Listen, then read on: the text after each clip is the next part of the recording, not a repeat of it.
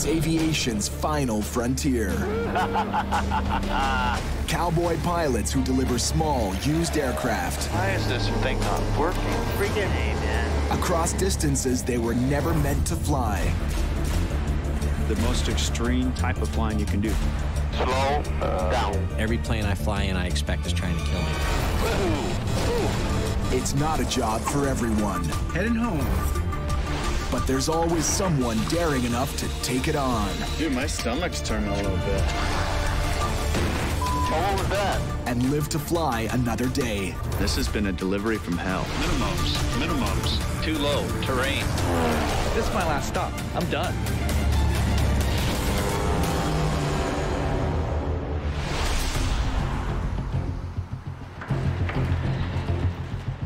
Kerry McCauley is where no ferry flyer wants to be. Grounded in Brazil. With the clock ticking, waiting on his co-pilot. I'm gonna be meeting Corey for the first time this morning. He's supposed to be down here at 5.30 so we can get a good and early start, but so far no Corey.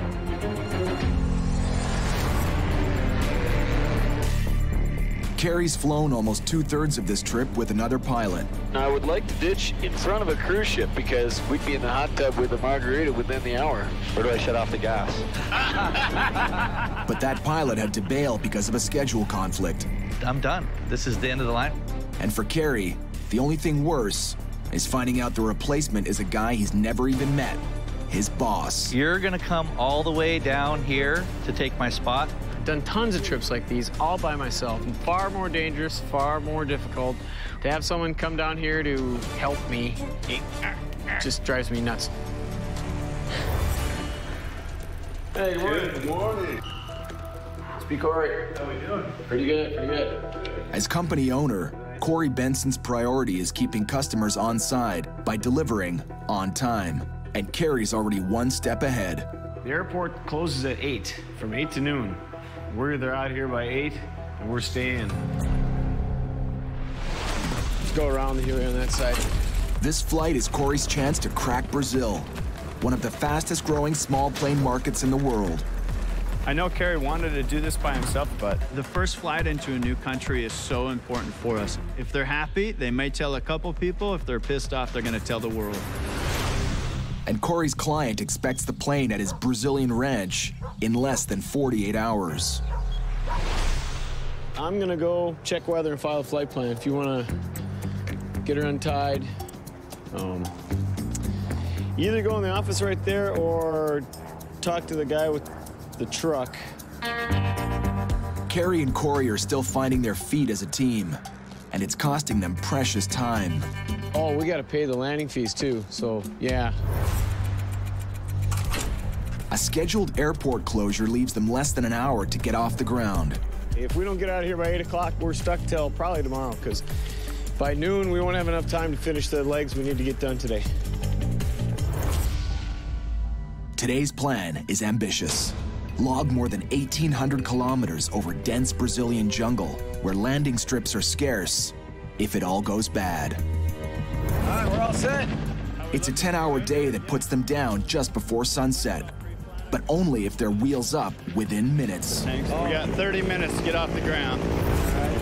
Let's, let's get this moment. The plane they're delivering is a Beechcraft Bonanza. Kerry's brought it almost 5,000 kilometers with no mechanical problems. Until now. We do not have time to dink around with this. What the hell? We got no power for the plane. Well, if we can't get this started in a couple of minutes, it means we're staying here for a while. Do you want me to go see if the fuel truck has a jumper? Corey and Kerry now have 15 minutes before the runway closes. No time to install a new battery. Why would I have totally dead battery? Here he is. We need to get jumped and get out of here. Can you jump us? We're having a really difficult time communicating. I'm not sure if they know what we need, but we have less than 10 minutes to get the airplane jumped and off the ground. He has no idea what I'm trying to say. Battery dead. We need to plug in. Got that? We gotta hurry though. They're closing the runway. Time we got. We really do only have a few minutes. Emergency troubleshooting goes with the territory. But it's easier if you know the guy you're in deep with. Come on! Corey's usual go-to guy is a veteran pilot, Randy McGeehee. That light means we have 10 minutes left of fuel. Holy. Together, Corey and Randy have been through hell that? and high water.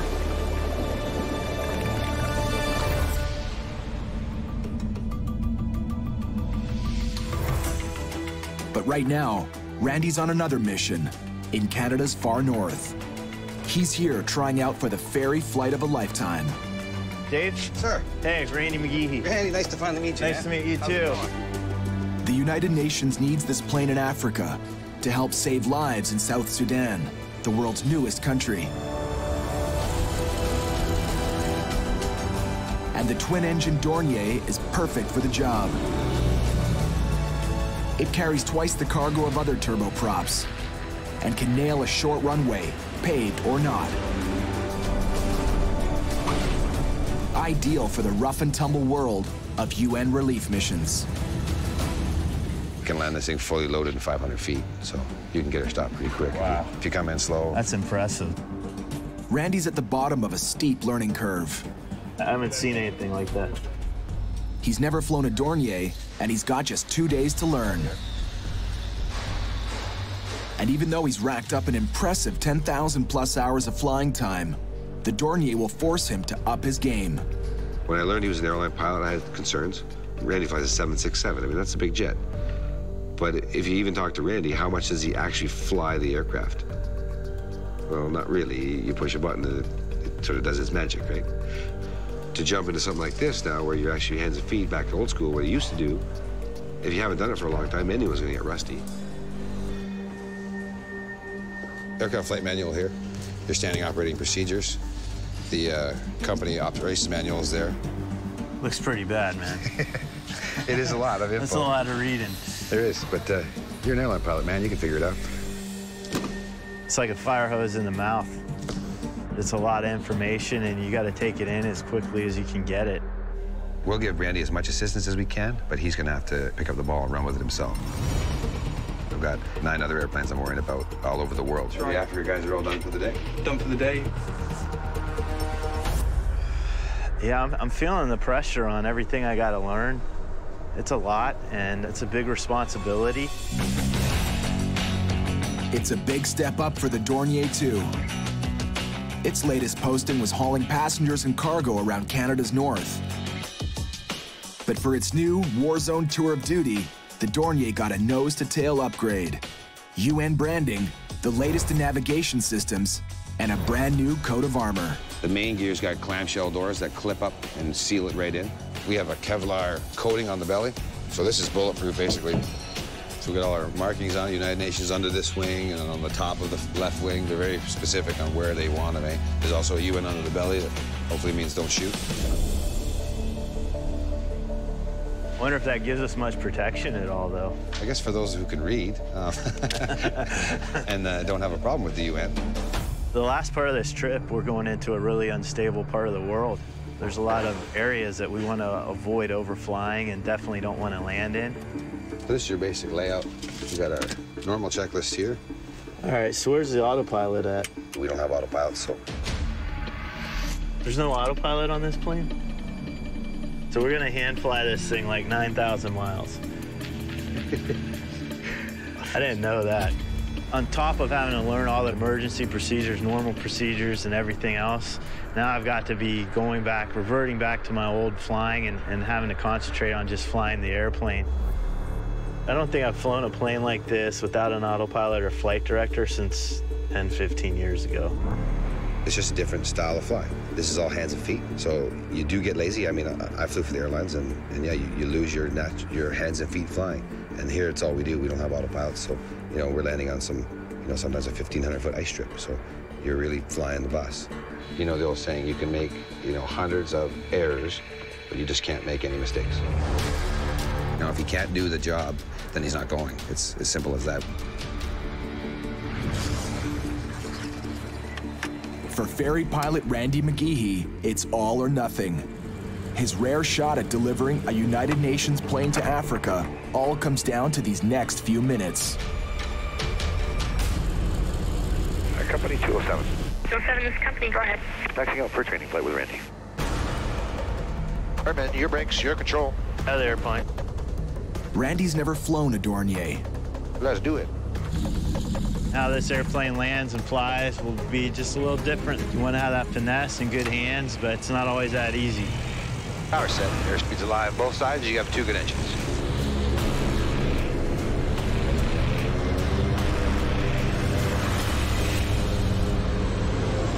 To ace this test, Randy has to respond to every tilt and roll of the plane.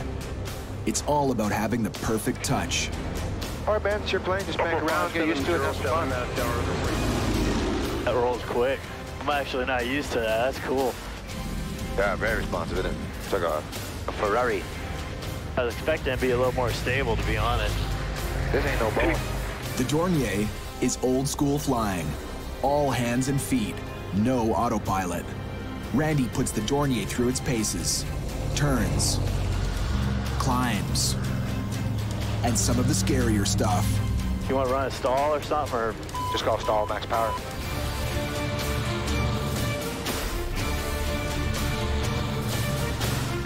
stall max power? We're set.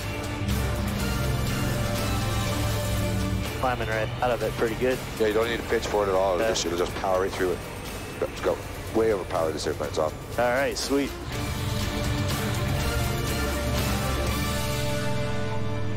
Well, for no autopilot, you're doing pretty good, man. No V-bar, we're talking about no flight directors. I'm like, I'm actually going to have to start flying again. Not having any issues with this thing. For all the airline pilots, though, he's terrible. He's terrible. I was expecting him to be rusty, especially on his altitude control. He was nailing his altitude, even in a steep turn. I'm looking, and he's got it just on the rails coming around the corner. Randy's hand flying is impressive.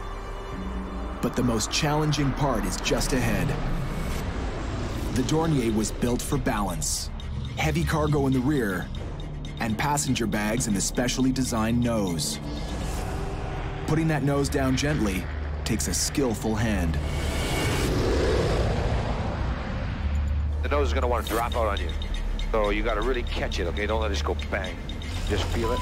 The nose will come down, let it just sort of drop by itself, and then just check it back hard. All right, I'll try, man.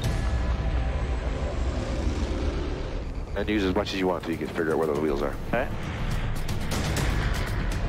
F plus 15 looking good. I'm looking sweet.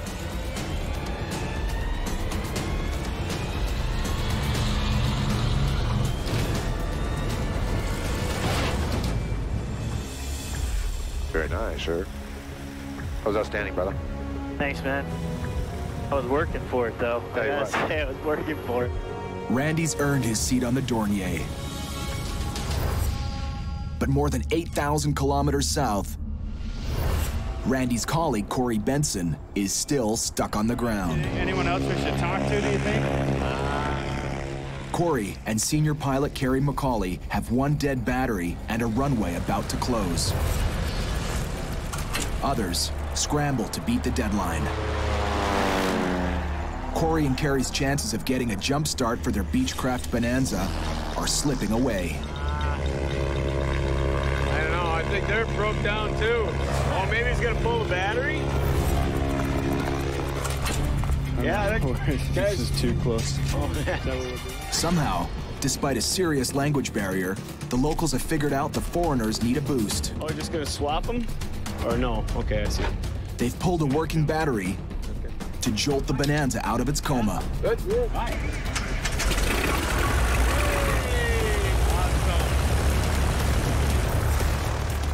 Oh man, talk about cutting it close.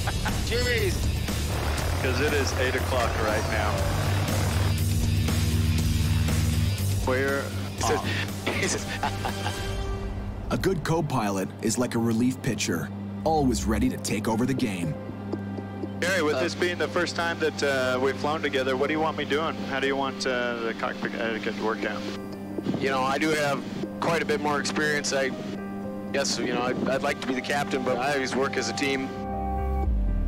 And Kerry needs to know what kind of a teammate Corey's gonna be. Within the first minute, we got to get it figured out. We don't have time to get to know each other and, and time to figure out how each other flies. You really never know what another pilot's going to be like till you fly with them. I need a guy that's going to, you know, keep his cool, be good in emergency. A good way to find out what your co-pilot's made of is to see how he handles an unexpected adrenaline rush. Like buzzing the Amazon at treetop level.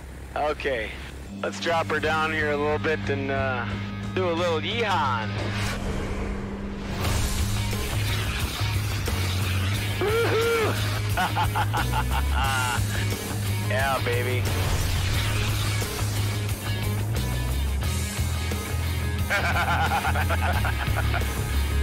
Too much fun. This is awesome. Oh man, I love this stuff. Who gets to do this? Who gets to buzz the Amazon first thing in the morning? So I think he just wanted to make sure that I'm not going to be some wimp pilot because this is definitely not the job for, for a wimpy pilot. Ah, he passed with flying colors. He was digging it. We were having a ball. A couple of kids in a candy store was what we were. oh, this is fun. All right, let's get back to work. We got places to go. Good that you came down to help out, though. I'm so happy I'm here. This is awesome. In this tiny airborne clubhouse, Corey's passed the initiation.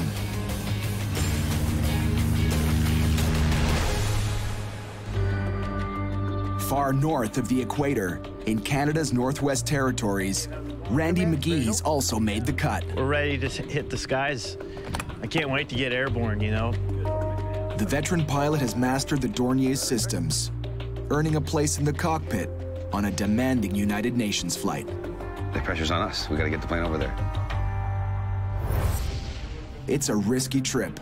From the far north, they'll cross the rough North Atlantic, then over continental Europe into the heart of Africa. More than 12,500 kilometers. One spare of everything. I hope.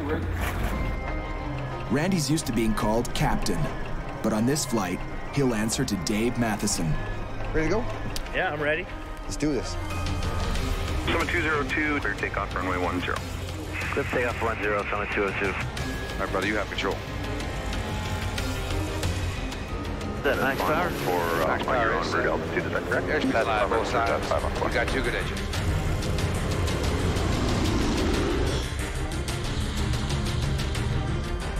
Goodbye, Yellowknife. I love this machine, man. From position director Keller, maintain 9,000 control from the 202. The first leg stretches nearly 2,300 kilometers to the remote northern community of Iqaluit. Well, we're not in Kansas anymore, man. There is nothing around here but tundra and water. We're 15 miles. I've got some type of light ahead, but that could be anything right now. Got it? Yeah, it's a town. It's kind of blurry, still some clag in the way. I don't even worry about it, though. I just flies the numbers. Gallup radio, good evening. Uh, They're putting down for the night to refuel the plane and themselves.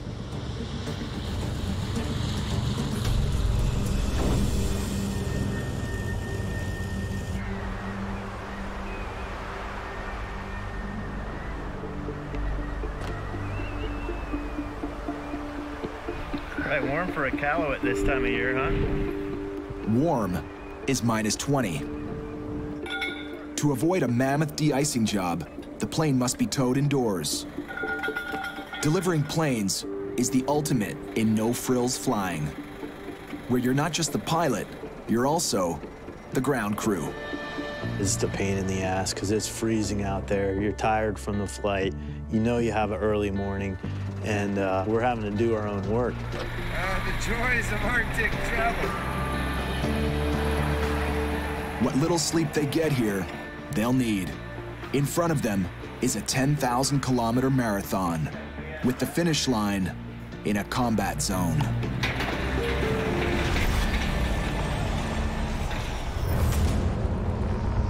By the the next day, sleep is a distant memory.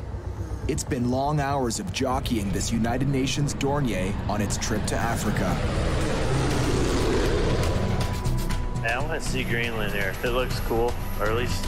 Yeah, if it's not clouded over, it is nice. Now at the one quarter mark, they're approaching Greenland.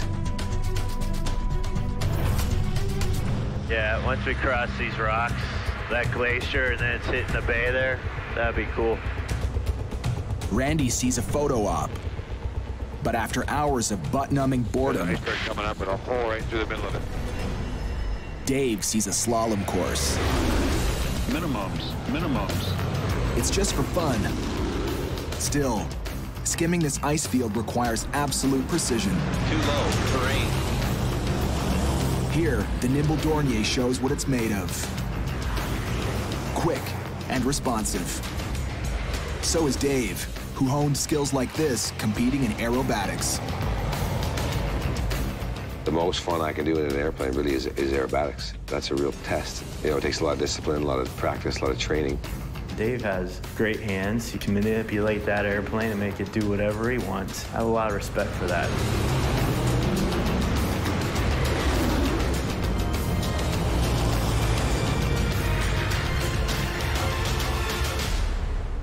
With the icebergs in their rear view, it's back to the business of rationing fuel for the long trip ahead. Are we there yet? it's gonna be a long trip for you, my friend. Yeah, big time.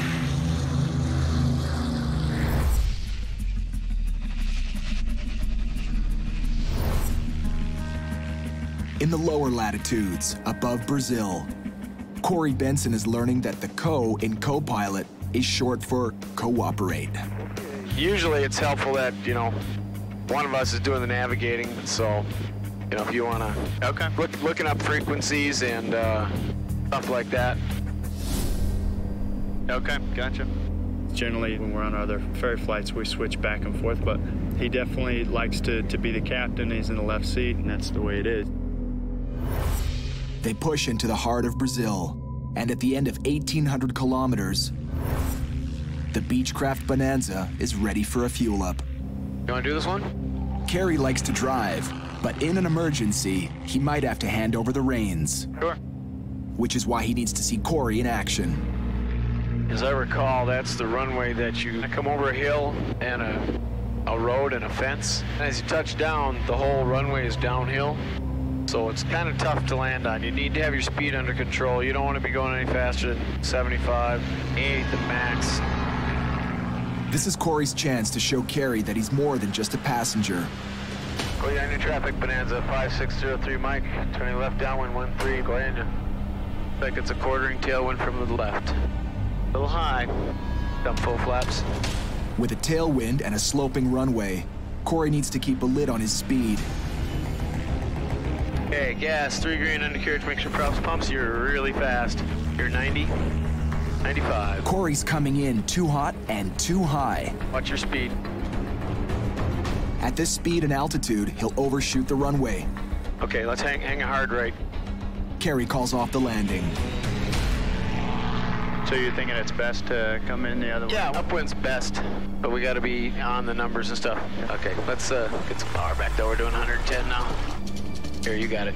All right, slow her up. Here, we're doing 100. It's gonna be a right crosswind. Looking better this time. Doing 90, but you're more on the glide path here. Corey's got the situation under control, but Kerry's still riding him. Get out, watch your speed. 85, 80, 75, 70. Drop your nose.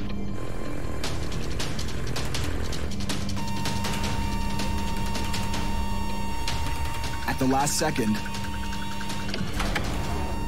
Kerry cuts the power and takes control of the plane. Flaps coming up. I got the brakes. I have the plane. Nicely done. You got the door.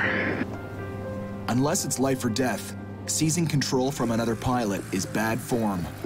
Yeah, sorry about that power thing. I shouldn't have done that. That's all right. I got a little carried away. Airspeed was fine, everything was fine, and, and he went and just chopped the throttle. Um, you don't reach over and take controls unless there's a, a danger, which there definitely wasn't a danger. I kind of screwed up his landing by cutting his power a little bit. But, you know, flying from the right seat is tough. This runway's got a big hill on it, and uh, yeah, it was no big deal. Corey may be Kerry's boss, but in the cockpit, the guy with the most experience is top dog. Period.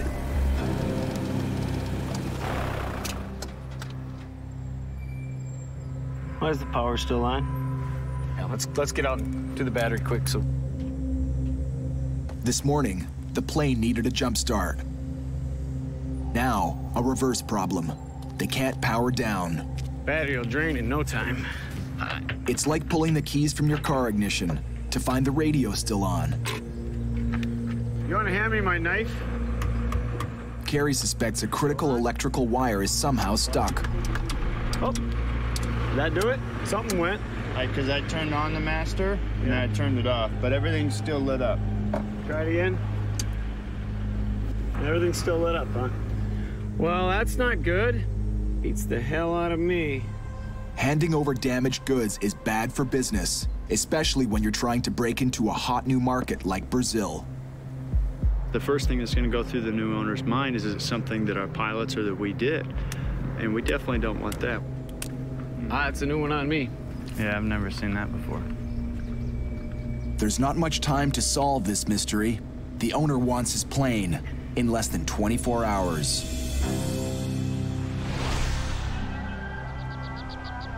Now, in Egypt, Randy and Dave are facing trouble of their own. Morning, dude. Super Dave. How's it going, bro? Good, man. How'd you sleep? Really great, actually. How about you? I've been up since one, crunching numbers. In four days, they've come 9,700 kilometers. But it's the last 3,000 that they're really worried about. Flying over war ravaged South Sudan. Flight planners have us taking uh, six hours and 37 minutes. And we have seven hours of fuel, 23 minutes reserve, which is not enough. Yeah, that's not gonna work.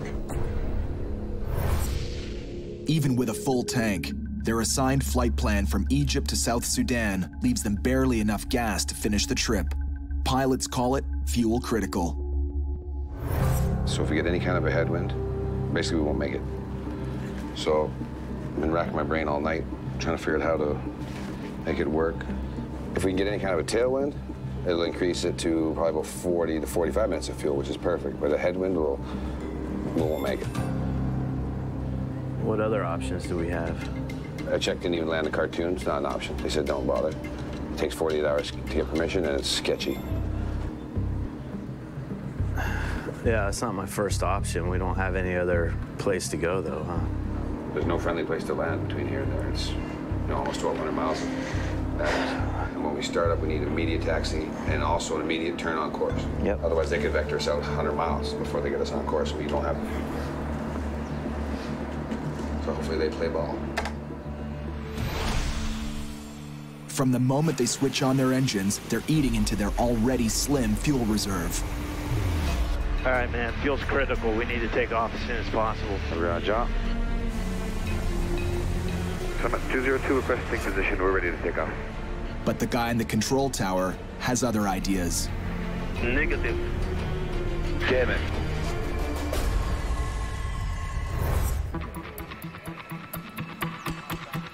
Meanwhile, it's early morning in Brazil, and Corey Benson and Kerry McCauley are troubleshooting. Hours later, they're no further ahead. Here's the starter. Make sure not to burn this battery down. Their plane is sucking power, and not even the mechanic knows why. I'm hearing the clunk, so something's working. Something's happening. But it's not happening fast enough. Right now, the only way to turn off the power to the plane is to pull the plug on the battery. It ain't perfect. Definitely unhooking the battery every time you shut the plane off is not uh, an ideal situation, but Especially delivering it to the new owner I and know have that's to get out you know, and that's- disconnect the battery. That's gonna kill me if I gotta say it's got one little quirk. You gotta disconnect the battery every time you shut the plane off. It's a safety feature, though. Safety. it's an anti-theft device. The plane's owner is expecting delivery in just a couple of hours. I'm gonna call the owner real quick, um, just give him an update. Just gonna send the owner an email. I tried to call him on his numbers and couldn't get through. I think he's a little anxious to, to get his airplane. Delivering a temperamental plane is better than no plane at all. Corey decides to push on right after a quick refuel. Turned off. Master switch, when they turned it off, all the power went off, so everything's cold, huh? Yeah. Cool. We fixed it. you gotta love it when a plan comes together. When something breaks and then it fixes itself. For me, that's the scariest part because you never know when it's gonna break again, but it is gonna break again. And it's generally at the very worst place when it stops working again. This is looking really good. We got guys giving us gas. The master switch is working again. We got a beautiful day and only two hours left to go. We're golden, baby. We're not even gonna be late.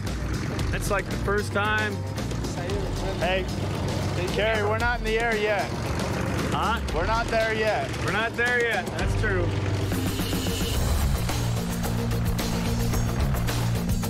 We are out of here.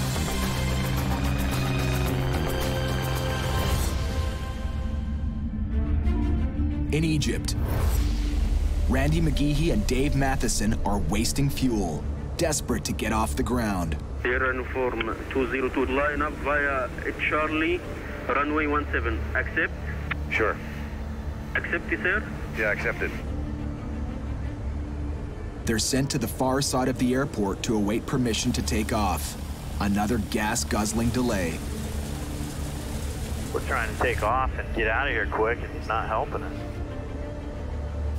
Their flight plan leaves them only 23 minutes of reserve fuel. Every second on the ground will cost them in the air.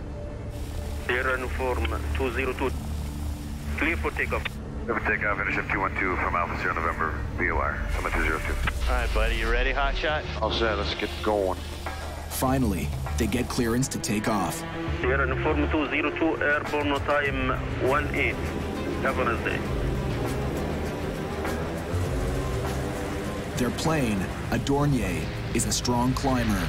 But in the desert, the air temperature is 40 degrees Celsius. The plane's engines are having to work harder, burning through the gas. So hot, man. Our performance is, we're getting killed. Worse, the guys in the control tower have assigned them a flight plan that looks more like a cow trail. Dave radios air traffic control, asking for a more direct route to save on fuel. Sir, Summit 202, is there any chance you could approve us direct Golf, Oscar, Papa, Delta, Alpha, just because we're fuel critical on this leg, sir, and it would help us out a lot. Be nice to us, buddy. Please, uh, after contact with Cairo Radar, you can uh, take this clearance, uh, Sierra Uniform 202. It's bad news. Yeah, by the time we get to 110, it won't matter. We're uh, fuel critical. Air traffic control has ordered them to climb to 11,000 feet, contact another control tower, and try again. Fucking hell, man. Friggin' 100 miles in the wrong direction is not going to help. It's 45 degrees off our track. It's nice when you're sitting on the ground, air conditioning, and you're not up here worrying about running out of fuel, you know?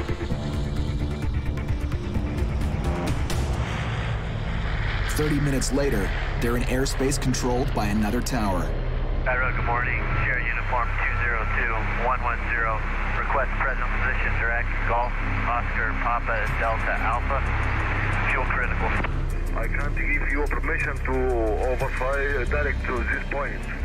All I can do with you is uh, to proceed direct New Bar, November Uniform Bravo Alpha Romeo. That's straight in the frickin' line. Translation, request denied. Again. That's why he won't turn us. I mean, he probably can't even work with Sudan airspace, you know? Randy and Dave will get one last shot at shaving time off this trip, but not until the halfway point. And with just 23 minutes of spare fuel to begin with, halfway could come too late. In the skies above Brazil, This Beechcraft Bonanza is trouble-free after some earlier power problems. It's a lot more mellow in the cockpit as well.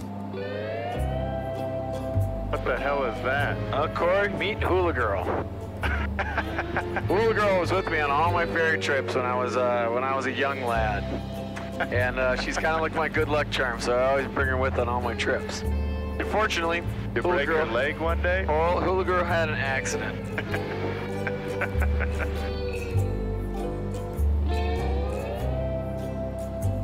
Pretty interesting there, buddy. Yeah, well, we've all got our quirks. you gotta have somebody to talk to on the long flights. Oh, that is funny. Kerry prefers flying solo, and he's been adjusting to a co-pilot who's also the boss. But after tens of thousands of kilometers with Hula Girl, Kerry's beginning to appreciate the live audience.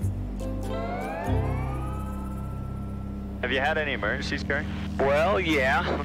Lost an engine in a 182 Holland Jumpers. Lost an engine in a Queen Air Holland Jumpers. Lost my alternator at night over the Sahara, ferry flying. Was lost over the jungle in the middle of Africa, ferry flying. Lost my ferry tank fuel pressure system in the middle of the Atlantic at night while ferry flying. Yeah, So I've had some emergencies. You've had a couple. Wow. Should read my book. Do you really have a book? Yeah, I'm almost done. Oh, this is going to be like a whole new chapter now. Oh, now. I know. I can't decide if I'm going to add this to it Yeah, you or can't, you have it a second book, you know? Oh my God. Like, It's like, my life doesn't stop. I can't finish the damn book. Just keep After more than 8,700 kilometers over stormy seas and dense jungle, the Bonanza is now within sight of the new owner's ranch. All right, how's my mixture is good. Gas is good. All eyes will be on them. The landing needs to be perfect. But the runway is far from it. That's definitely not a international airport runway. Gonna be a little challenging. Yeah, remember here, Kerry, no pressure, but uh, the owner's watching you. Ah. Oh, good. At least I got that going for me. No pressure and all.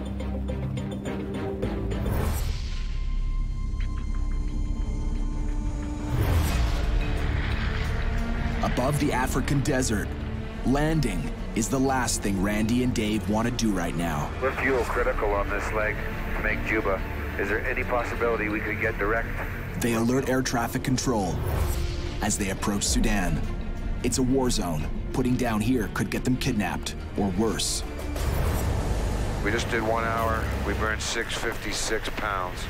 I'll get back to that in a second. Short on gas, Randy and Dave have been asking for a more direct flight path. Twice denied, they have one last chance. Sir, no copy from Khartoum at all. Could you relay? They can't raise air traffic control on the radio. Awesome. We're in hostile airspace and we can't talk to anybody.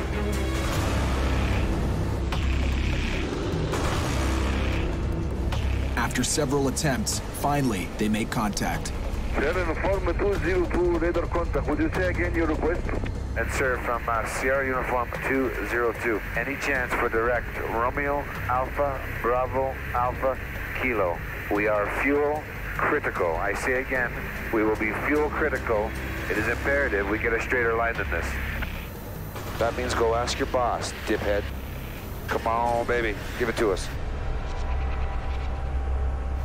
Negative, military area. Thanks for no help. What a dick. And he knows we're fuel critical. You know he could give it to us. And we're a United Nations flight. We're not there to bomb anybody. Out of options, they're banking on a smooth flight with no surprises. And in ferry flying, that's asking for a miracle.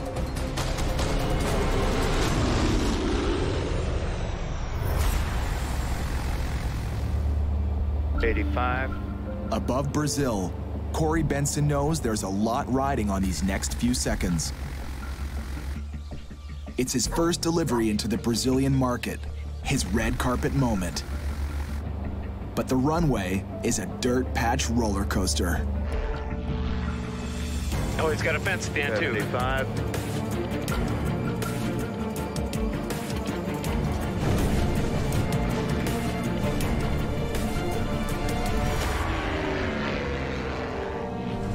Flaps coming up. Well done, well done. What an entrance. Look, that was a little more nerve-wracking than I was anticipating. That was sporty. Excellent. Wow, this is beautiful here.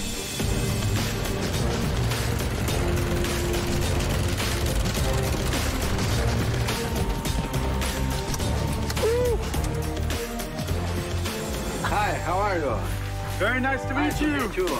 This is beautiful here. Yeah, you did a Beautiful. good trip. Phenomenal. Team. Ah, Nice, huh? first time to get to see it, yeah. First time I touch it. Very good. I like the. Hula girl. Not enough. That's uh, that's my hula girl, eh? Think you brought the gift for me? No, no. Let's toast, huh? Yeah. Hey, to the new plane. To the new plane. Congratulations. Yeah, yeah. Cheers. To the delivery For- of the for- bonanza. for all our- yeah. Cheers, toast. This is probably the best welcome that I've ever had delivering airplanes. These people have just been so incredibly generous and, and excited, and um, you know, this is a passion of his. That's one of the fun parts about uh, delivering some of these smaller planes. He's going to be using this, him and his wife and his family coming to the ranch, just like what we did here, and it's, it just a, a great welcome. Oh, we're gonna be like that, are we?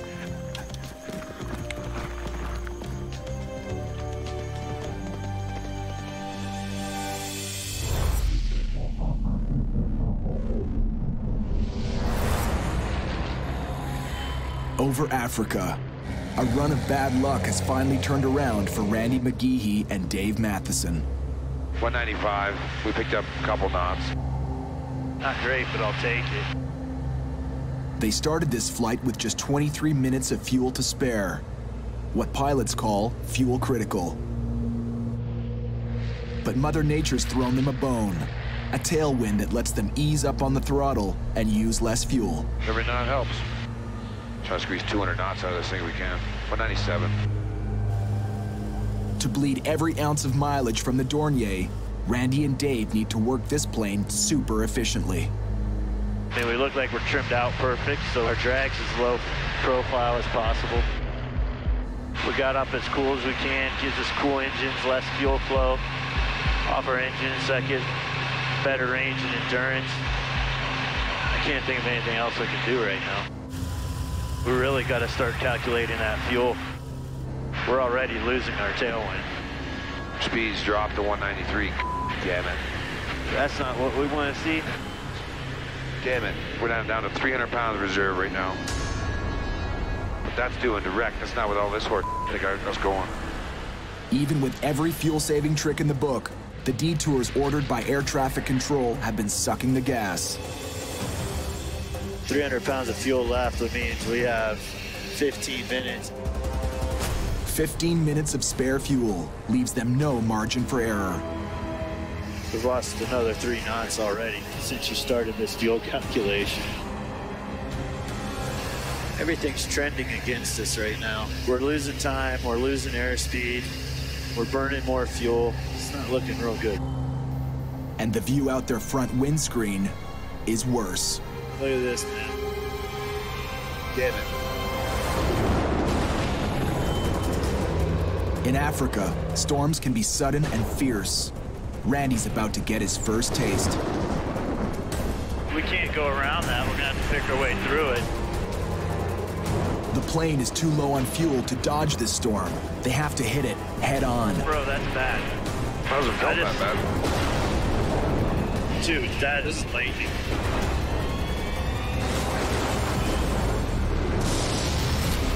Next time on Dangerous Flights. Fireworks at 11,000 feet. Dude, we're in all sorts of trouble right now, man. Randy and Dave's Desert Storm isn't done with them yet. While in the far north, there's another rough ride into one of the most dangerous airports in the world.